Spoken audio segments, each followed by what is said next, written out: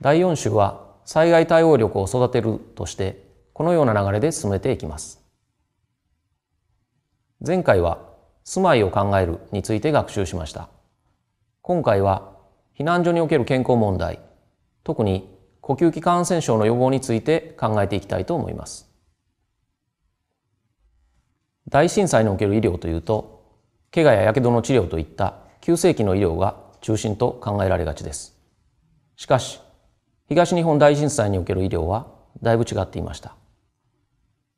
津波に飲まれた患者さんの大半が死亡し、その他は低体温や肺炎などであり、急性期医療を応用する患者さんはあまり多くありませんでした。一方、東北3県で一時40万人を超える避難所生活者が発生しました。これらは津波により家や町全体を失った人々であり、避難所での健康問題が重要でありました。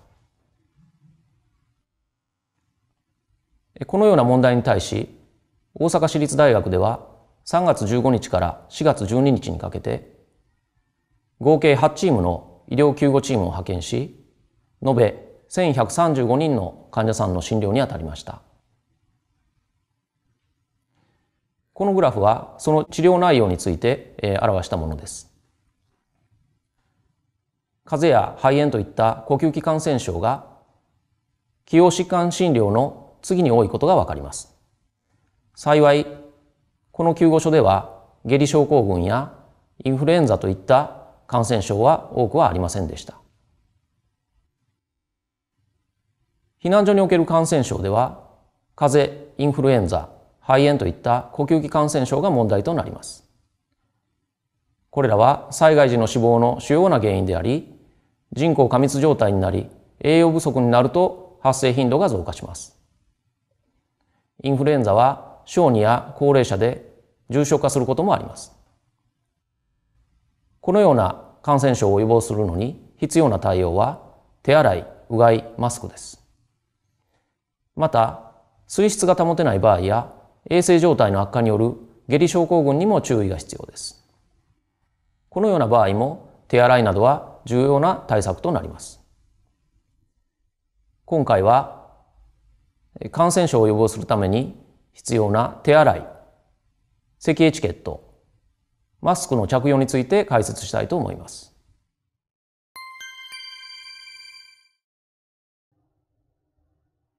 私たちの手には目に見えない汚れや菌が多く付着しています。手を清潔に保つことは感染を予防する上で大変重要です。なぜなら手を介した感染を予防することができるからです。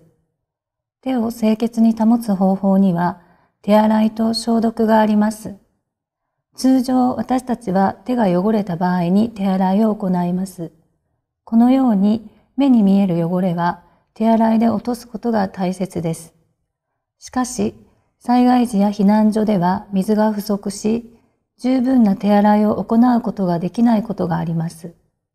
このような場合は、手の消毒を行うことで、手を清潔に保つことができます。手洗いの目的は、手や指についた汚れや菌を取り除くことです。しかし、普段簡単に行っている手洗いでは、爪の間、指先、親指の周囲、指の間、手のひらの中央のシワ、手首などに洗い残しができてしまい、十分に汚れや菌を取り除くことができず、見えない汚れが残ってしまいます。正しい手洗いを行い、汚れや菌をきれいに落として、手を返した感染を予防しましょう。それでは正しい手洗いと手の消毒方法について説明します。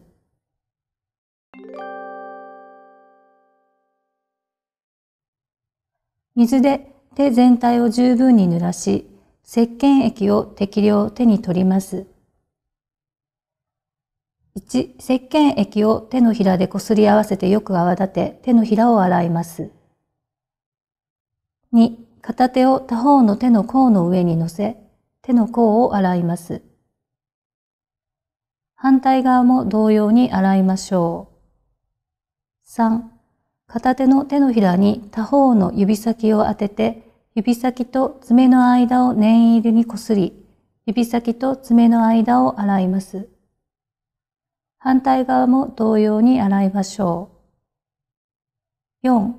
両手の指を組んで、組んだ手を上下に動かし、両手の指の間を洗います。5. 片手を他方の手の親指の付け根に当て、親指の付け根から上までをくるくる回すようにして親指を洗います。反対側も同様に洗いましょう。6. 片手を他方の手首に当て、手首をくるくると回すようにして手首を洗います。反対側も同様に洗いましょう。これら1手のひら、2手の甲、3指先と爪の間、4指の間、5親指の周囲、6手首はしっかりと洗いましょう。水で石鹸を洗い流し、ペーパータオルで水分を拭き取ります。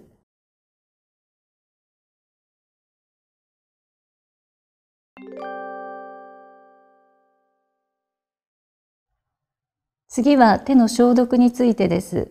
手の消毒の目的は、アルコール消毒液を手にすり込み、目に見えない汚れや菌を取り除くことです。では、手の消毒方法について説明します。1、アルコール消毒液を片手の手のひらに取り、他方の手の指先、爪の間に消毒液をこすりつけ、指先と爪の間に消毒液をすり込みます。残ったアルコール消毒液を反対側の手のひらに移して同様に行います。2. 両手をこすり合わせ手のひらにアルコール消毒液をすり込みます。3. 片方の手のひらを他方の手の甲の上に乗せてこすり、手の甲にアルコール消毒液をすり込みます。反対側も同様に行いましょう。4. 両手の指を組んで手のひらを上下に動かし、指の間にアルコール消毒液をすり込みます。5. 片手を他方の親指の付け根に当て、親指の付け根から上までをくるくると回すようにして、親指にアルコール消毒液をすり込みます。反対側も同様に行いましょう。6. 片手を他方の手首に当て、手首をくるくると回すようにして、手首にアルコール消毒液をすり込みます。反対側も同様に行いましょう。1、指先と爪の間、2、手のひら、3、手の甲、4、指の間、5、親指の周囲、6、手首は摩擦熱で乾燥するまですり込みを行いましょう。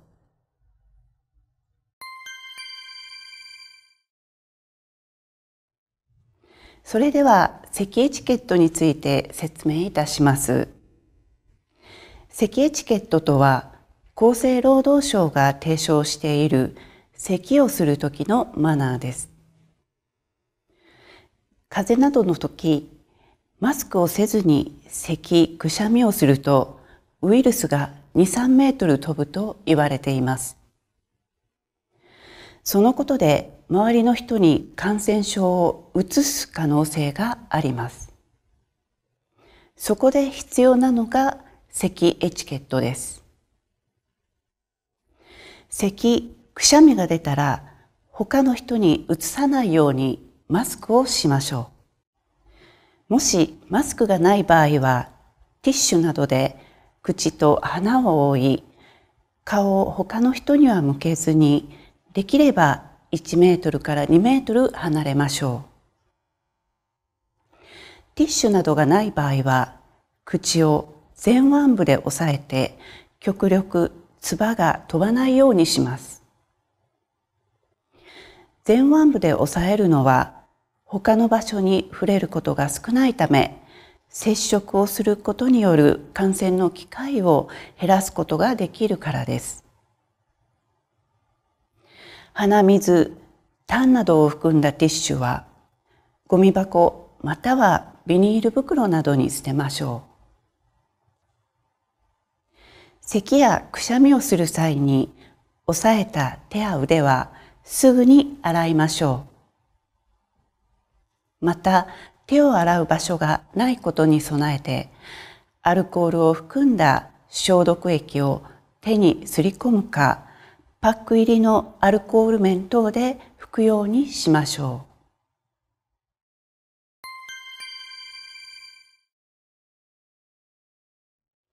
これからマスクを正しくつけます。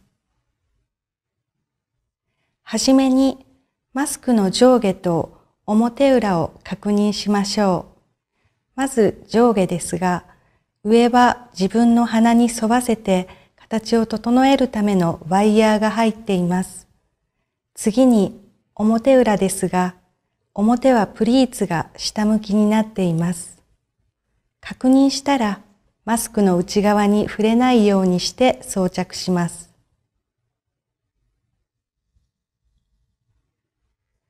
ワイヤーを鼻に当てて鼻の形に合わせて曲げます。